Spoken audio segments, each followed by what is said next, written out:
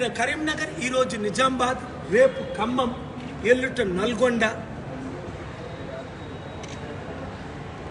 నేను ఎందుకు సేవ్ తెలంగాణ యాత్ర టూర్ చేస్తున్నాను అన్నది నిన్న నాకు పూర్తిగా ఇంకా అర్థమైంది. నేను చేస్తుంది కరెక్ట్ అని. బండి కావాలా?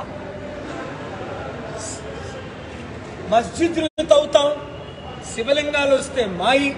శవాలు వస్తే మీ అని క్రైస్తవుల మధ్య హిందువుల మధ్య ముస్లింల మధ్య చిచ్చు పెట్టే బండి సంజయ్ కావాలా? లేదా ఐదు లక్షల కోట్లు మిగిలిన డబ్బు కనిపించటం లేదు ఇంకొక ఐదు లక్షల కోట్లు అప్పు చేసిన కుల కుటుంబ పాలనైన కేసీఆర్ కొడుకు కేటీఆర్ కావాలా? నలభై సంవత్సరాలుగా తెలంగాణను అభివృద్ధి చేస్తూ వందల వేల కంపెనీలు తీసుకొచ్చి అడవి లాంటి హైదరాబాద్ కేసీఆర్ కేటీఆర్ కేసీఆర్ చంద్రబాబు నాయుడు గారు రాజశేఖర రెడ్డి గారు రాజశేఖర్ గారు ఎమ్మెల్యేలుగా ఉన్నప్పటి నుండి లక్షల ఉద్యోగాలు తెచ్చి వందల కంపెనీలు తెచ్చి అభివృద్ధి చేసిన కేఏ పాల్ కావాలి. అందుకనే అనేక ఛానల్లో నూటికి అరవై నుండి డెబ్బై శాతం ప్రజలు నన్ను కోరుకుంటున్నారు. ఇంకా కోరుకోని మీరు మార్పు తేవాలని కోరిన మీరు రేపు ఖమ్మం మూడు గంటలకు ఎల్లుంట ఖమ్మం నల్గొండ నాలుగు గంటలకు ఫేస్బుక్ డాక్టర్ కేఎఫ్ లేదా యాప్ డౌన్లోడ్ చేసుకున్న ఇన్ఫర్మేషన్ తీసుకుంటారు. ఖమ్మంలో ఎక్కడ? ఖమ్మం నల్గొండలో పదమూడవ తారీఖున ఎస్ఎన్ఆర్ గార్డెన్స్ మిర్యాలగూడ రోడ్డు. రేపు ఖమ్మం మూడు గంటల నుండి నాలుగు గంటల వరకు లొకేషన్ ఏంటది? Srikrishna Srikrishna function hall. మార్పు తెచ్చుకుందాం అభివృద్ధి చేసుకుందాం అప్పులు తీర్చుకుందాం. సర్పంచులు ఎంపీటీసీలు జడ్పీటీసీలు ఎమ్మెల్యేలు అవలా అన్నారు ఆయన కోరుకున్న మీరు కలిసి రండి. ఇక్కడ చూసారా నిజామాబాద్? ఇంత షార్ట్ నోటీస్లో ఇంతమంది లీడర్స్ రావడానికి కారణం ఏంటి? మార్పు కోరుకుంటున్నారు. ఎవరికి ఒక రూపాయి ఇవ్వట్లేదు అన్ని పార్టీలు. కేవలం సొంత డబ్బులు ఖర్చు పెట్టుకొని వచ్చారు. God bless you thank you very much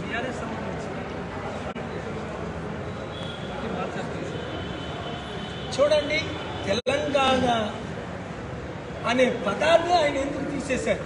Telangana రాష్ట్ర సమితి. ఎందుకు? ఆయనకు తెలుసు.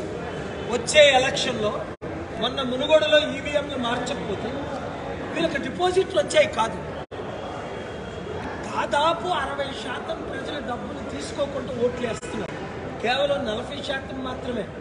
పద్దెనిమిది నుండి ఇరవై శాతం టీఆర్ఎస్కి ఐదు నుంచి ఏడు శాతం బీజేపీకి ఐదు ఆరు శాతం కాంగ్రెస్కి. రుజువు అయిపోయింది చెప్పినట్టే బీఎస్పీకి వన్ పర్సెంటే అరవై డెబ్బై శాతం ప్రజలు ఎవరు కోరుకుంటున్నారు? నన్ను ఎందుకు కోరుకుంటున్నారు? అభివృద్ధి చేశాడు చేయగలరు ఈ బీఆర్ఎస్ ఈఆర్ఎస్ ఇవన్నీ పార్టీలు పెట్టి బీజేపీకి బీ పార్టీగా వండుకుంటారు.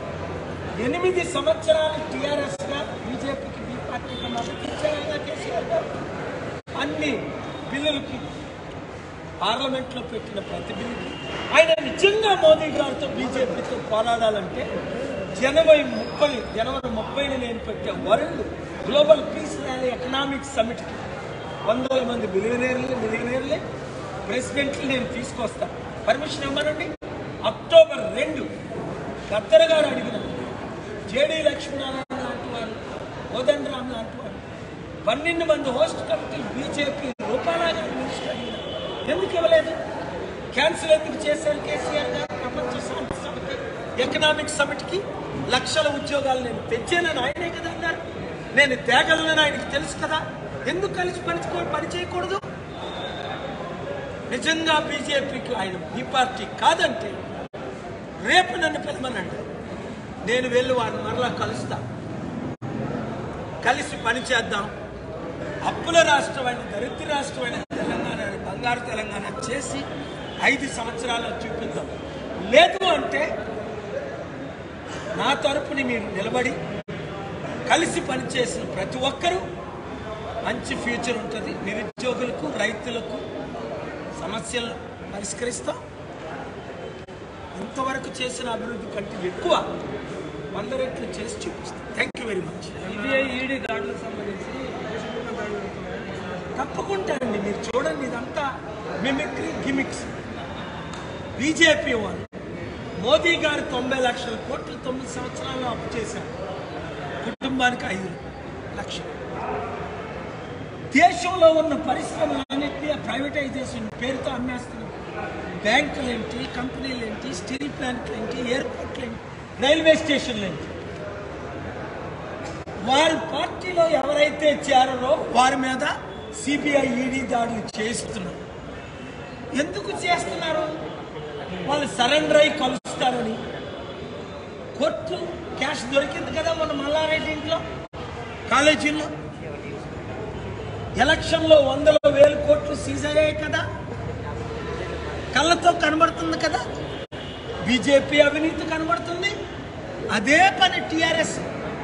తెలుగుదేశం పార్టీ అన్ని ఎమ్మెల్యేలు కొనేసి అవినీతి చేసి అప్పులు చేసి రాష్ట్రాన్ని నాశనం చేసేశారు. అందుకనే ఆంధ్రప్రదేశ్లో అప్పులు లక్షల కోట్లు తెలంగాణలో అప్పులు ఐదు లక్షల కోట్లు. ఎవరు తీర్చగలరు అప్పు? నేను తప్ప. ఎవరు చేయగలరు అభివృద్ధి? నేను తప్ప. చేశాను చేయగలను. సాగించేస్తున్నారు. చూడండి నా మీద చేయడానికి రైట్స్ లేవు కదా. నేను ఫ్రీగా డబ్బు తీసుకొచ్చాను ఫ్రీగా పంచాను ఒక రూపాయి ఎవరి దగ్గర తీసుకోలేదు. నన్ను నా మీద ఎలా ట్రైల్ చేయగలరాలు ఒక్క రూపాయి నలభై ఒక్క సంవత్సరాల్లో ఎవరి దగ్గర తీసుకోలేదు. ఇప్పుడు పార్టీకి హ్యాండ్ బిల్ పంపిస్తున్నాం ప్రజాశాంతి పార్టీ అకౌంట్ పంపిస్తున్నాం. ప్రతి ఒక్కరు పది రూపాయలు ఇచ్చి పార్టీలో చేరండి. వంద రూపాయలు ఇచ్చి క్రియాశీలక. ఎందుకు? విదేశ డబ్బులు తేకూడదు. జైలుకి నేను వెళ్ళకూడదు అంటే లేదంటే లక్ష కోట్లు తెచ్చి పార్టీ పెట్టగలను అది చట్ట విరుద్ధం కనుక కొందరు పది రూపాయలు ఇచ్చి మెంబర్ అవ్వండి వంద రూపాయలు కొందరు లక్ష రూపాయలు ఇవ్వండి పార్టీకి. మీ పార్టీని మీ మీ డబ్బులు మీ ఖర్చు పెట్టుకొని ప్రజాశాంతి పార్టీని గెలిపించుకోండి. తప్పకుండా ఎమ్మెల్యేగా నిలబడతా లోక్సభ టైంలో ఎంపీగా నిలబడతా ఏ నియోజకవర్గం నిలబడతారు?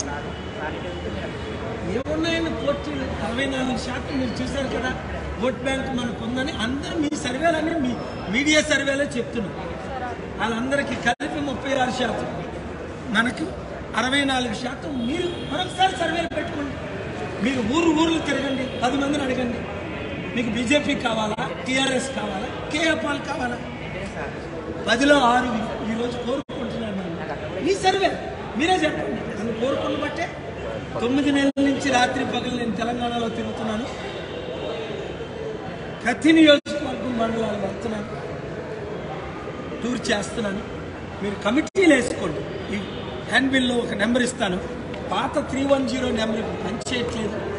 ఇప్పుడు ఈ నెంబర్ మీరు అందరు రాసుకోండి. Zero zero one three four six eight one two six five four six. Zero zero one three four six eight one two six five four six. గ్రూపుని పెట్టండి. ఆల్రెడీ తెల్లవారు ఆరు గంటలకు కాల్ చేస్తున్నాను కాల్ చేయకండి. నా personal American number. WhatsApp group పెట్టి ఐదు వందల మందిని చేర్పించండి. నిరుద్యోగులారా నిరాశ చెందకండి ఆత్మహత్యలు చేసుకోండి. నేనున్నా. మీరు ఒక్కొక్కరు వంద మందికి చెప్పి పార్టీలో చేర్పించండి. రైతులారా ఆత్మహత్య చేసుకోకండి నేనున్నా. అమరవీరులారా ఆత్మహత్య చేసుకోకండి నేను ప్రపంచంలో వంద ట్రిలియన్ డాలర్లు డబ్బులు ఎక్కువ ఉన్నాయి. రెండు ట్రిలియన్ అప్పు తీర్చేసి అభివృద్ధి చేయలేమా? చేసి చూపిస్తా ఐదు సంవత్సరాలు.